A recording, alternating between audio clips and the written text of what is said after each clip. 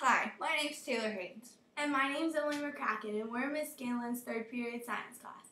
Today we will be reviewing Newton's laws of motion. Sir Isaac Newton was a scientist who created three laws of motion relating the motion of objects.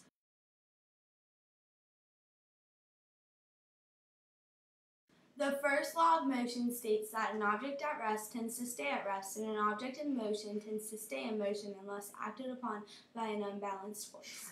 For example, hitting a volleyball at rest on a jump trainer will cause the volleyball at rest to become active in a forward motion by Emily swinging at the volleyball, causing an unbalanced force.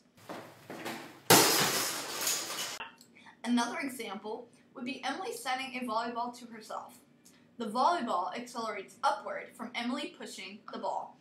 Gravity pulls it back down in a downward motion to Emily's hands.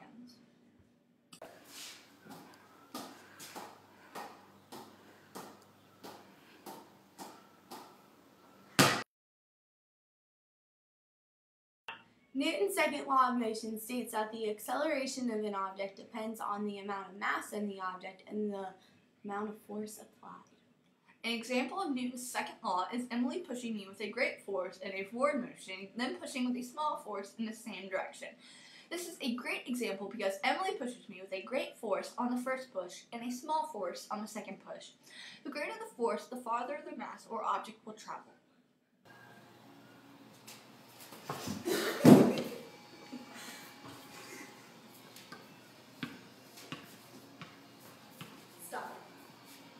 Another example of Newton's second law of motion is picking up my sister Caitlin and Taylor. Picking up two objects with different masses require different amounts of forces.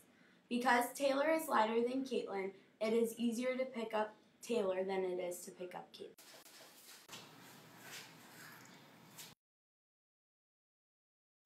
Newton's third law of motion states that whenever one object exerts a force on a second object, the second object exerts an equal and opposite force on the first object. An example of Newton's third law of motion would be doing a chest bump.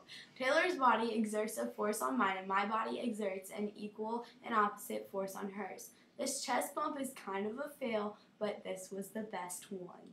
Go. Another example of Newton's third law is a fist bump. A fist bump is an example of Newton's third law because my fist exerts an equal and opposite force on Emily's fist. Please excuse the sound effects.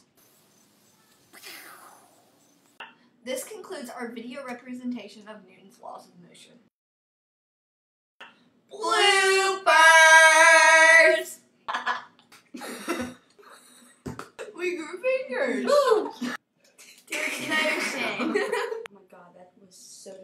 Sorry. Ner- nerds. and we're laughing over absolutely nothing.